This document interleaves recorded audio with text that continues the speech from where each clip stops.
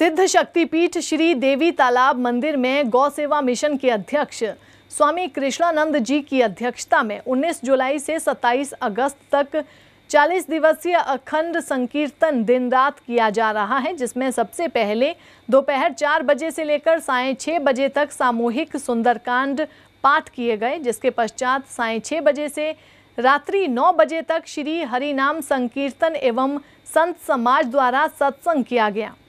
इस दौरान स्वामी कृष्णानंद जी ने विशेष रूप से उपस्थित होकर अपने प्रवचनों के माध्यम से उपस्थित भक्तों का मार्गदर्शन भी किया। इस मौके पर असंख्य भक्त जन भी मौजूद रहे। जालंधर से हलचल के लिए कैमरामैन प्रभजोत सिंह के साथ कुश चावला की रिपोर्ट।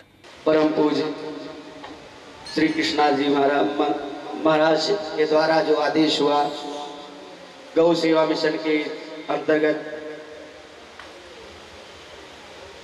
ये दो शब्द ठाकुर जी का चर्चा करिए। ये सौभाग्य है मेरा माँ के दरबार में माँ का। कृपा है कि गुणगान प्रभु का सुनाए।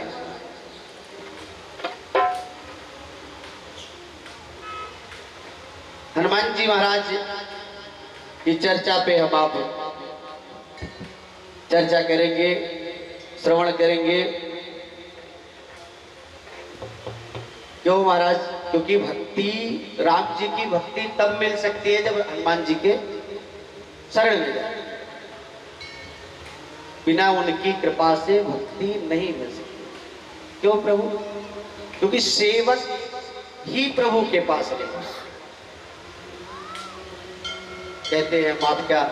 श्री गुरु चरण सरोज, निज मन मुकुर सुधार। वर्णहु रघुवर विमल जस जोदायक फल परम दयालु, ब्रह्मा, माँ जगदम्बा, त्रिपुर मालिनी की कृपा करने से उन्हीं के पावन तीर्थ स्थल, देवी तालाब मंदिर में इन दिनों आप हम सब परम दयालु कली पावनावतार भक्तमाल सुमेरु, गोस्वामी श्री तुलसीदास महाराज जी का पावन। चालीस दिवसीय जयंती महामहोत्सव, भगवत राधना महाजप का अनुष्ठान कर हमारे महापुरुषों ने, गुरुजनों ने मानवता के भले के लिए सनातन धर्म संस्कृति गौ माता की रक्षा के लिए अपने जीवन में बहुत बड़े परिश्रम किए हैं। वे धर्मियों के बड़े बड़े प्रकोप हुए। समय समय पर इन महापुरुषों ने ही धर्म संस्कृति, मानवता गौ माता की रक्षा करी है। जगत गुरु रामानंदाचार्य भगवान श्री रामानुजाचार्य वल्लभाचार्य महाराज, समर्थ गुरु रामदास जी, साहब श्री गुरु नानक देव महाराज जी, कबीर महाराज जी, रविदास महाराज जी, वाल्मीकि महाराज जी, नामदेव महाराज, ये सब महापुरुषों ने ही समय समय पर विधर्मियों के आसरों के प्रकोप से इस भारत की पावन धरा को बचाया है। चिदानंद रूपम शिवोहम शिवोहम, मैं वही हूँ जो शुद्ध है, चैतन्य है, शाश्वत है। तो ये चिंतन जीवन में कैसे आएगा? जब भगवान का भजन करेंगे क्योंकि इस कलिकाल में भजन ही एक साधन है। और हम सब भाग्यशाली हैं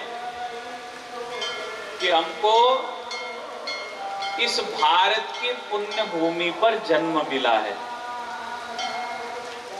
इस तरह की बरसात के अंदर आप लोग इस पंडाल में बैठ करके जो ये कथा कीर्तन श्रवण कर रहे हैं ना, हम लोग तो यहाँ फिर भी कर रहे हैं। भारत के अन्यत्र किसी भी जगह की ऐसी संस्कृति नहीं है। ऐसी संस्कृति नहीं है। और यदि आज वहाँ के लोग ऐसा कर भी रहे हैं तो वो भारत की संस्कृति का अनुगमन करते हुए ये सब कर रहे हैं। उनकी संस्कृति नहीं है। तो हम अपनी संस्कृति छोड़ रहे हैं।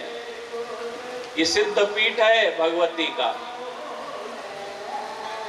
ये भगवती का सिद्ध पीठ है। और सिद्ध पीठ के अंदर ऐसे सिद्ध महापुरुषों के द्वारा ऐसा सुंदर कार्य हो रहा है।